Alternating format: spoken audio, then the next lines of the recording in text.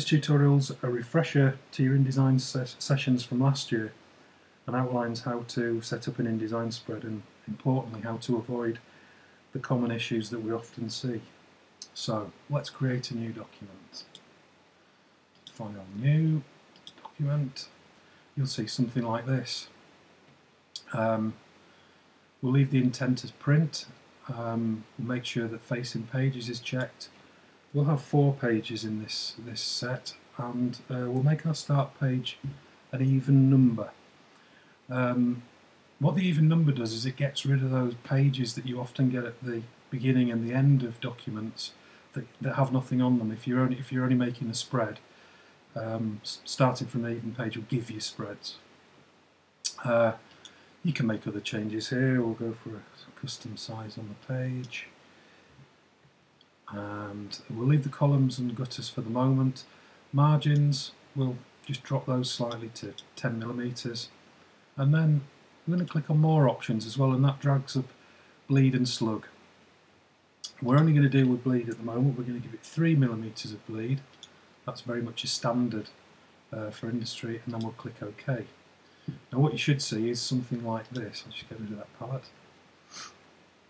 Um, in your pages uh, palette, which is usually docked to the side there, um, you'll see you've got your pages, you've got no start page, no finish page, you've got two nice spreads there, and they're already numbered for you so you can see where, where, you're, um, where you're on each page.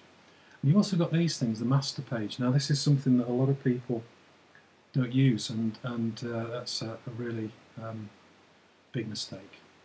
So what we'll do is we'll double click on a master page. It looks exactly the same as any other page. But what we'll do is we'll go into um, to layout, margins and columns, and we'll put some columns in. We've got our margins set. We'll put columns in. I'm going to put seven columns in.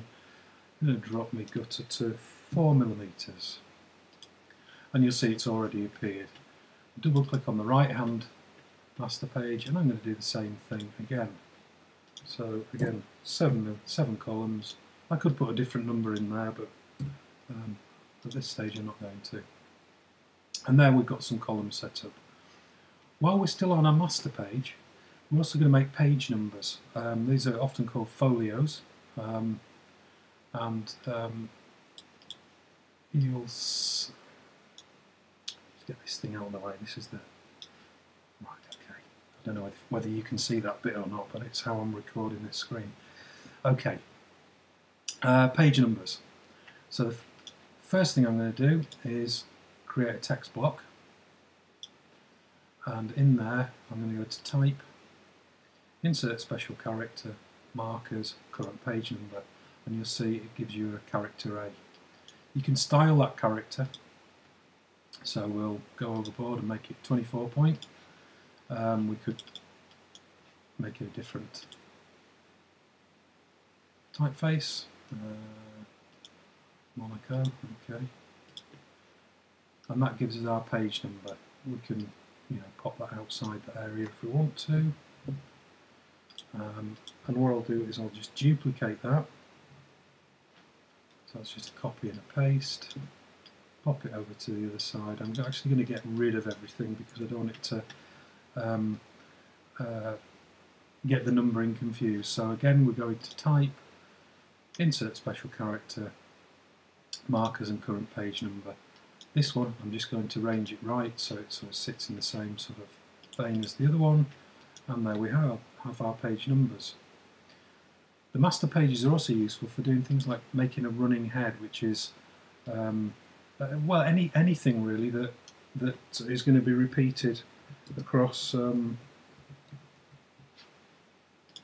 across a number of pages. So we'll just put a running head in there. I'm not going to style this one um, on that side. Okay, so that's the, the master page. If we now click on our normal spreads, you can see the numbers are appearing automatically and if we scroll down to the next one, there you go and you can see that my magazine is there as the running head. Um, you'll also notice that you can't move or alter any of these things that are sat on the master page unless you go back to the master page. in which case you can decide to put your numbering over there or at the bottom or whatever whatever else you want to do. Okay, so I'll just put that back there for now. So back to the spreads.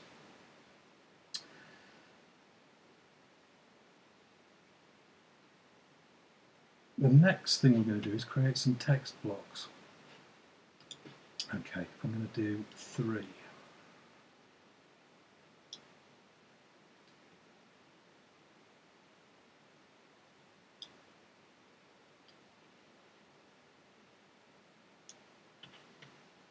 Now it might be worth here if I just turn the guides off.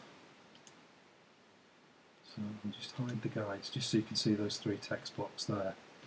I'm now going to flood in some text that just I've just got from the internet. Just copy that. And I'll paste it in there. Okay, so it's pasted into the first text block. First thing to, to do is to now link these text blocks together so that this story flows. So if I select my direct selection tool, click in this little red arrow there, and click onto the next block, you'll see it links. There's still some more to come. We'll link it across here. Okay, and there we are. We've got three linked text blocks. If I move this text block, you'll see the other two start to move around and make that story, keep that story consistent. Next thing um, is uh, paragraph styles. And again, this sometimes seems like a bit of a a chore when you're only working on um, uh, two spreads, but you've got to get into this habit because when you get out in industry, paragraph styles are uh, very much a um, mainstay of magazine production. Okay, character styles. Type type palette. Go to character styles. You'll see we've got um, sorry paragraph styles. You'll see we've got we've got nothing there. We've got a basic paragraph. Click on the create new paragraph, and we'll go for a new paragraph style. Basic character format, you can change lots of things here. We're going to call this style body. And we'll leave it on Minion Pro for the moment. Oh no, we won't. That's what we'll do. We'll select something a little more challenging. Let's go for brush script. And we'll drop the type size to 10. Uh, where you get the brackets there, that means it's a, um, an automatic default setting, that's something we don't really want to see. I'm going to chuck the leading up to 13.5, that's the line feed. I'm going to leave everything else normal. Um, usually with paragraphs where you don't have a, a, line between a paragraph or a space between a paragraph, you'll indent it. So if you go to indents and spacing, you just put a first line indent of 3 millimeters and then click OK. Now, we'll select all our text, so Command A will select everything. We'll just click on body and it's changed everything for us to uh, wonderful brush script.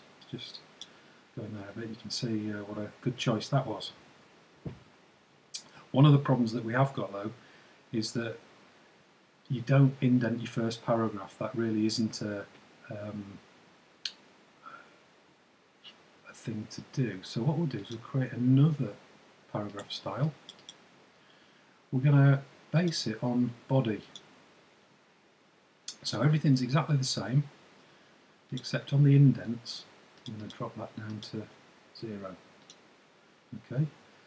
Now what we'll do is we'll click in our first paragraph and we'll click on, actually I didn't rename that one did I? But there we go, I'll do that one now.